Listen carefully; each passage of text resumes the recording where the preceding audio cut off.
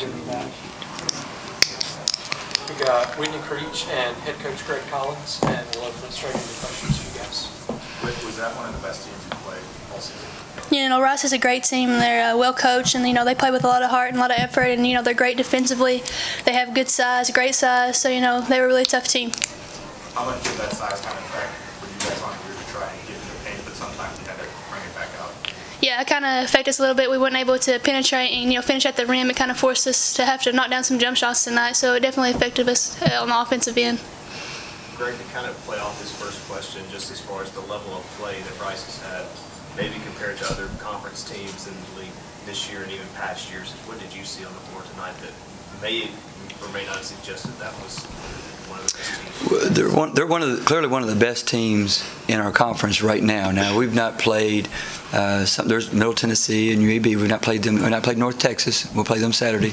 Uh, so I can't speak as for those teams. But uh, as far as the other schools we played, they're the best in the conference we've played so far. Uh, what really changes it is having that size inside. That changes everything. And then they've got uh, you know all the, all the players on the perimeter. okay, they're all good ball players, and they can make the three.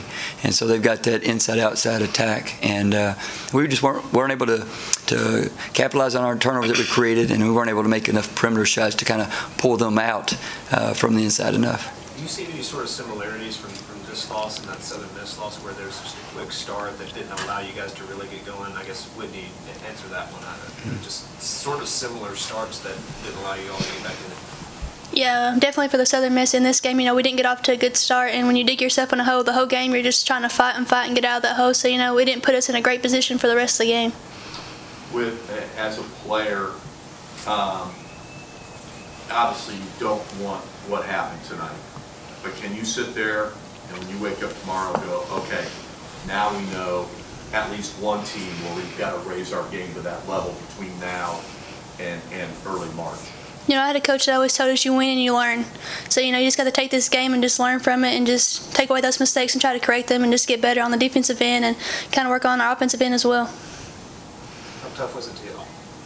That not being able to get in that flow with, with Dee sort of being in trouble for a lot of the game of the tech early and just didn't really get her established either. Well, for us to beat a good team, we need to give us to score.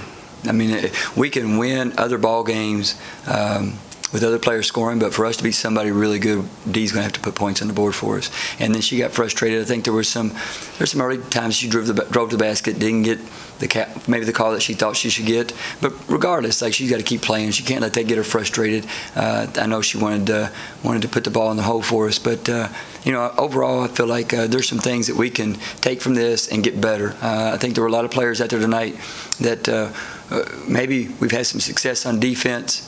But against a good team, we've got to lock down and be able to stop the drive and guard the three a lot better than we did tonight. And and a credit a lot goes to this young lady beside me. I mean, tonight Whit Creech played defense, and and that's something that uh, I've been on her for about two years now. And so she's gotten to where now she's able to to uh, do some fundamental things really well that help us. And so as long as she can uh, keep making that jump shot and keep guarding somebody, that's going to help us be a better team.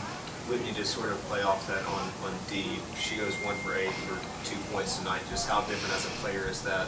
She just sort of change things whenever she's not able to do mm-hmm. what she usually does. You know, I think Dee's a two-way player. You know, if she's not scoring the ball, she can do a lot of other things for this team. But you know, like Coach Collins says, when we play a really tough team, we need Dee to kind of help us out. But we also have to help Dee out, not make her feel all that pressure, and just kind of relieve that pressure off her and score the ball. I think if others are aggressive and scoring, it opens more things up for her. Greg, similar to what I asked you after the Southern Miss game, what do you want your players to learn from tonight to, to move forward?